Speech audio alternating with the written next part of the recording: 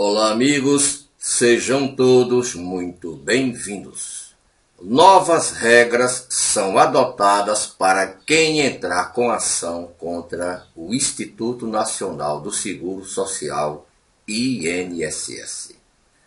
Você está no canal Fênix de Informação. Eu sou o professor Walter Júnior.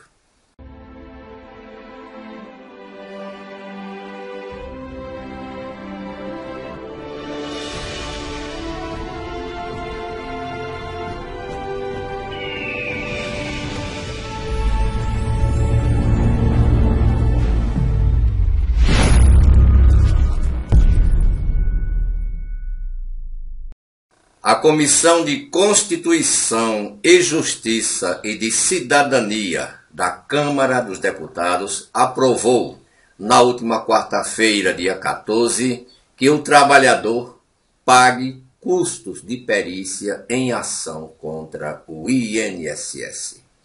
Caso a ação venha a ser sancionada pelo presidente da República, começará a valer no próximo ano, 2022.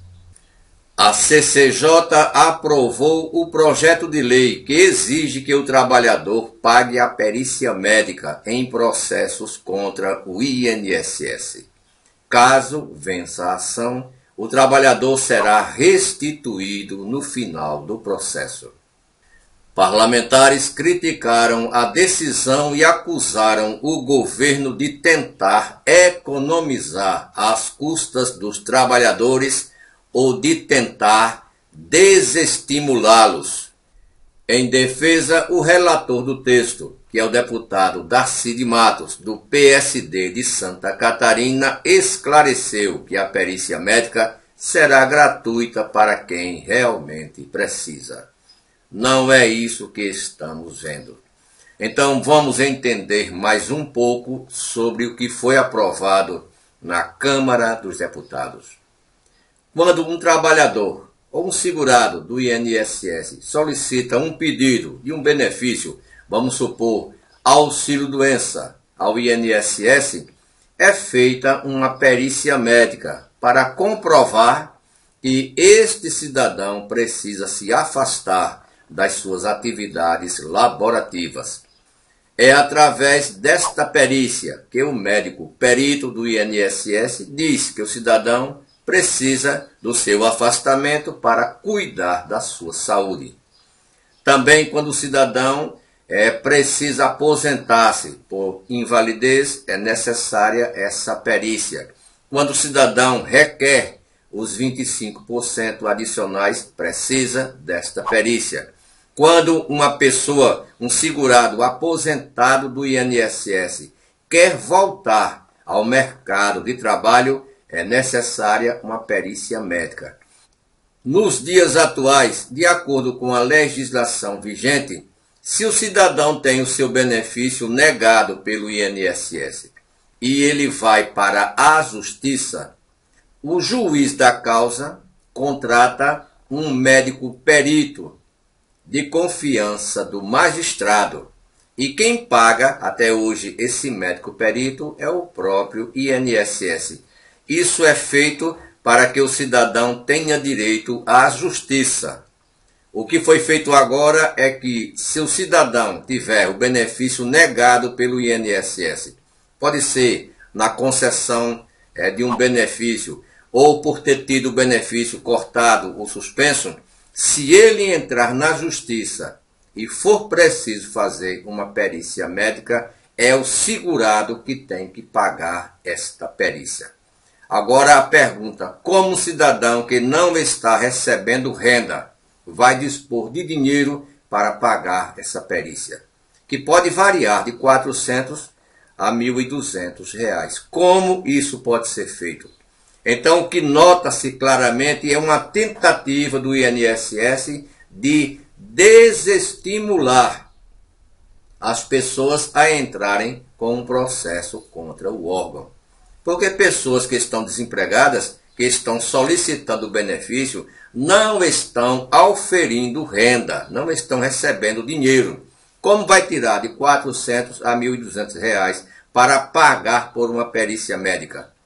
Aí o deputado Darcy Matos diz que não, mas ele pode receber no final do processo.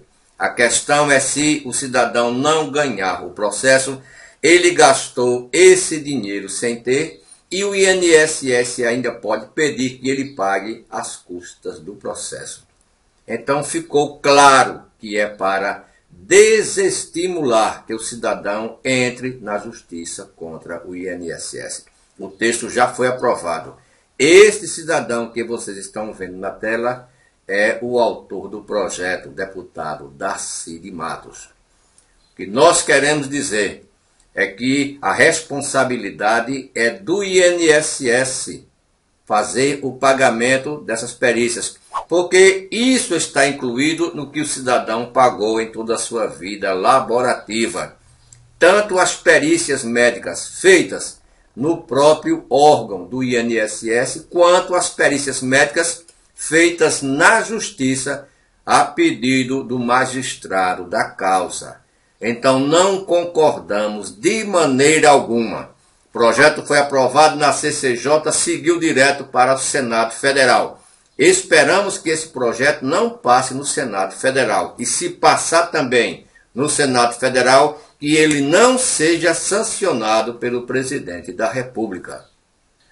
De acordo com o deputado Darcy de Matos, o texto foi construído em acordo com o governo com o IBPM, que é o Instituto Brasileiro de Perícia Médica, e com a AJUF, que é a Associação dos Juízes Federais do Brasil. Mais uma vez, o trabalhador ficou de fora dessa negociação. Mais uma vez, os aposentados ficaram de fora de negociações que interferem diretamente em suas vidas ou em nossas vidas porque eu sou aposentado pelo INSS. Segundo o IBDP, que é o Instituto Brasileiro de Direito Previdenciário, a decisão é desumana, já que atinge trabalhadores que não estão recebendo nenhum salário. O que falamos aqui? Diante disso, parlamentares afirmaram que o governo trabalhou para aprovar um texto que permitisse economizar as custas dos mais pobres. Quem é rico pode pagar uma perícia, quem é rico pode é, fazer convênio médico, pode fazer consultas em médicos particulares, usar as clínicas, as melhores clínicas e hospitais do país. Quem é pobre não tem condição. E o governo, com isso, tira mais essa chance do cidadão ter o seu direito reconhecido na justiça. Porque ele tem que pagar adiantado a perícia. Como ele vai pagar se ele não está recebendo dinheiro? O IBDP, que é o Instituto Brasileiro de Direito Previdenciário, tem toda a razão quando fala isso. É desumano. E foi este cidadão que está na tela aí. Ele é o relator. Acha tudo normal. 2022 vem aí, meu amigo. Atualmente, os tribunais federais têm um orçamento para pagar as perícias médicas para os trabalhadores que se declararem de baixa renda. Essa ação teve um aumento de solicitação a partir de 2018, quando o INSS passou a realizar o chamado pente fino. Então aí está, pessoal, são as novas regras e essas regras não partiram do próprio INSS, essas partiram do Congresso Nacional, mais precisamente da Câmara dos Deputados. O relator é esse deputado que vocês estão vendo aí, Daci de Matos, que diz que é tudo certo. Novas regras são adotadas para quem entrar ou quiser entrar com ação contra o INSS.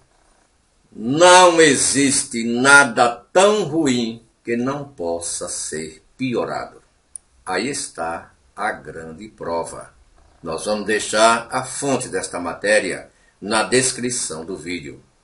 Hoje é sexta-feira, dia 16 de julho de 2021.